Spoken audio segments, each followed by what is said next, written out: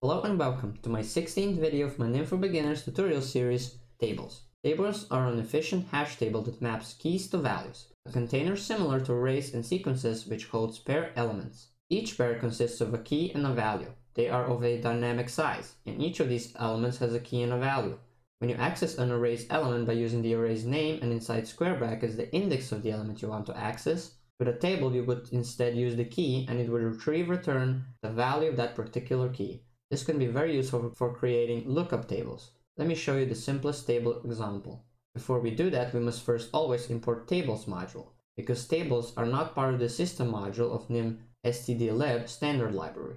So far, we have been accessing the system module of NIM standard library without even knowing it. That is because it is imported automatically. Tables are not part of the core system module NIM. So let us import them.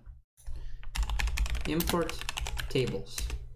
Now let's make a new variable for io table. This will be our table variable. Assign. We use curly brackets to construct tables. Then we give it a key. Let's call it output and map to it a value of std out as in the variable we use to output to the terminal and then another key of input and its value of stdin. And then we have to call to table procedure to make this table. We must use this procedure to make a table because there are several different types of tables. So the compiler cannot know what kind of table we want. So we need to name it correctly. So to table, there are also order tables, etc.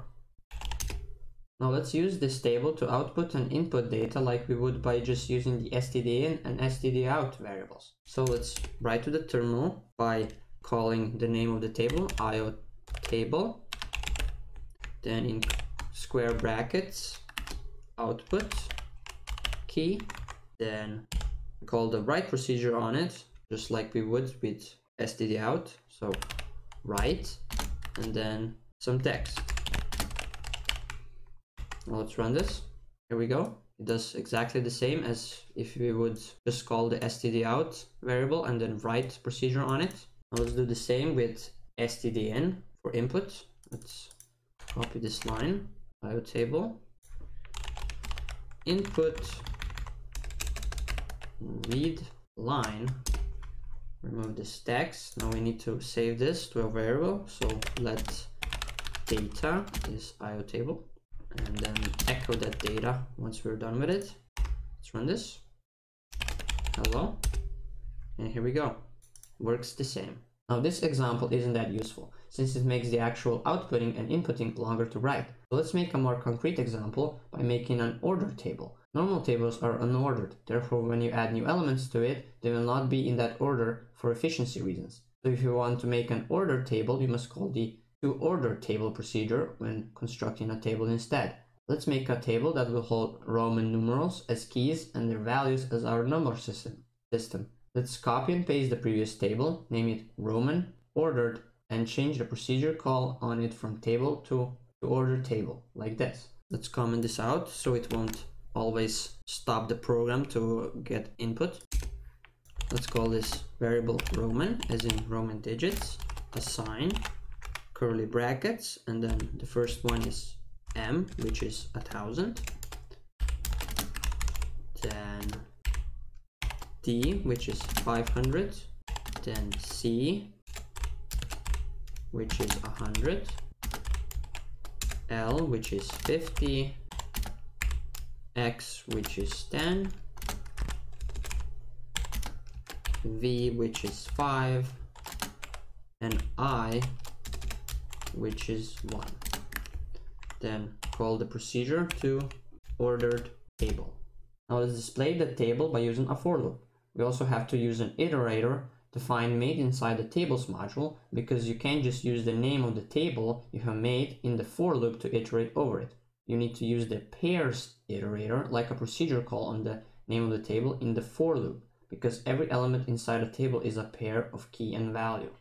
So for r as in Roman in Roman dot pairs iterator then we echo r.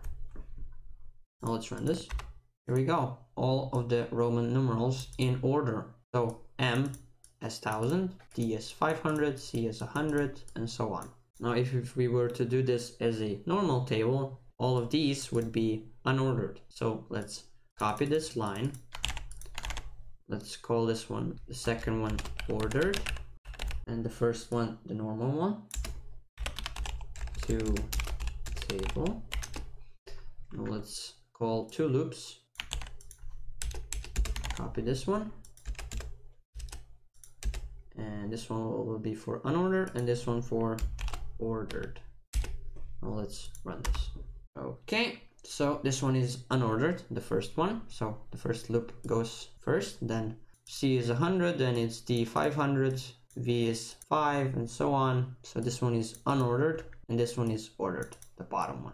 Besides the normal unordered and ordered tables, there is also a count table variant. This variant is also an unordered table like the first IO table, but it also counts every occurrence of a pair, which means that if you were to have two or more pairs that are identical, it would display a number of occurrences when displaying it. Let's comment out these for loops so we won't get a spam of text in our terminal. Now let's copy this line, this table, and call it Roman count then let's call the to count table procedure on it to make it a count table. Now let's copy this for loop, paste it down here, rename this to count pairs, and let's output this. Here we go. It also displays a an additional parameter of number one for each of them because there is only, only one occurrence of each of these letters inside this table. Let's duplicate some of these pairs, like M, duplicate it, and let's say C, duplicate it two more times. Now let's run this. Here we go. All of them are 1 except M is 2, which means 2 occurrences, and C 3. You can change the values of keys similarly to arrays. You use the name of our table, square brackets, and into the square brackets insert the key to access that key's value, just like we did before. Then assign it a new value like this. Roman, square brackets, let's give it i key, and change the value of i to 2.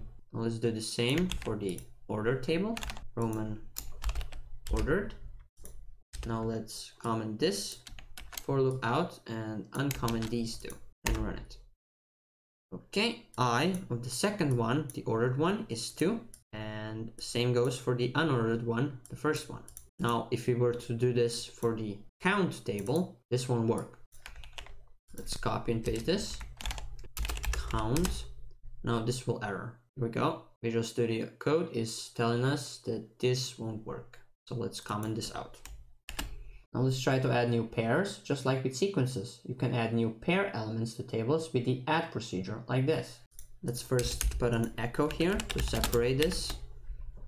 Now let's Roman dot add. Now instead of using the curly brackets like we did before, we just give them the pairs as arguments. So we give it q as the first argument and its value, let's say 3 as the second. Now let's do the same for the order table. Roman ordered.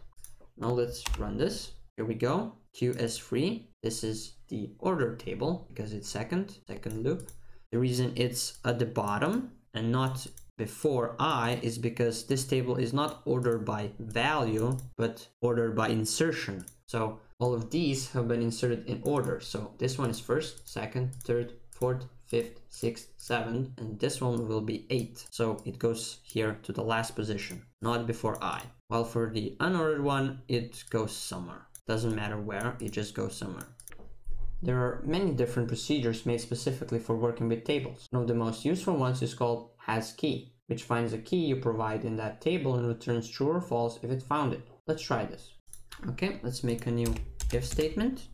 If Roman call has key procedure on it and give it q, the newest pair we added to it, and echo count q. Now let's run this. Here we go, found Q. Now this also works for order tables. So let's copy and paste this. Roman ordered, found ordered Q. Now let's run this. Works for both. Now this won't work for count tables. So if we copy and paste this to try it, if Roman count, here we go, Visual Studio Code has already detected that this won't work. Neither will assigning new values to keys nor adding new pairs. There is also a reference variant of all three kinds of table we have used so far. Reference tables belong to object-oriented programming and will be the subject of a future video. Okay, that's it for this video. Thanks for watching, like and subscribe if you liked it. If you had any problems with any part of the video, let me know in the comment section. The code for this video is in the link in the description. Have fun!